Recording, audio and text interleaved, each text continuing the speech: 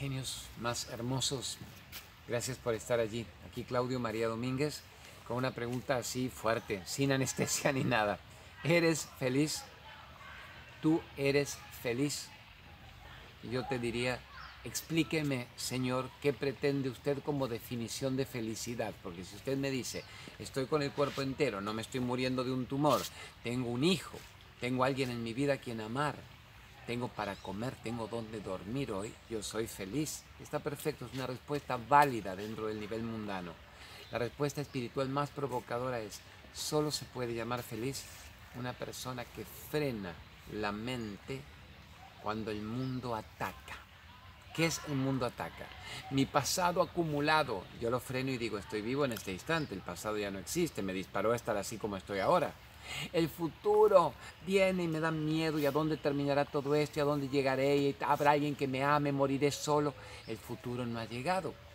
Y va a depender de lo que yo haga en este instante, eso que llamamos futuro, que cuando llegue será un presente que pasará también. O sea que lo único que existe es el control de la mente en este instante.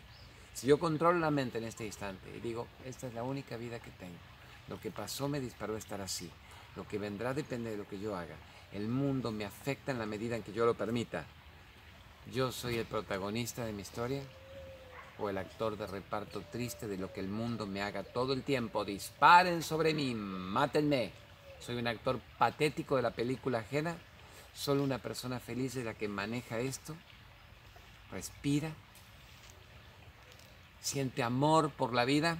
Siente gratitud por estar vivo un día más en el planeta y sabe que es lo que decida ser, no lo que hagan de mí. Esa es la persona feliz. ¿Soy lo que yo soy o soy el actor triste de reparto de los demás? Esa es una persona feliz. Freno el pasado, freno el futuro, freno el miedo, freno la ira, freno la culpa. Y soy libre de esos condicionamientos. Gente bonita, gracias por estar allí y tener el coraje de aguantar todo esto. Claudio María Domínguez. Gracias por estar unidos de corazón a corazón.